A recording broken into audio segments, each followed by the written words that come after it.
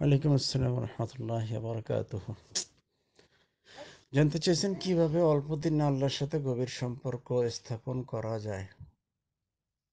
আপনি কি বিবাহিত না অবিবাহিত? যদি হন অবিবাহিত, তাহলে আপনি জগৎ কি বুঝবেন? আর যদি হন বিবাহিত, তাহলে স্বামী স্ত্রীর সম্পর্ক যত পুরানো, তত গভীর। আর আপনি যদি সরকারি চাকরি করে থাকেন পদোন্নতি কি প্রথম দিনই? না, আপনার সার্ভিস আপনার বয়স প্রতি মাস ইনক্রিমেন্ট কি প্রথমে সব বেড়ে যায় না ধীরে ধীরে বাড়ে?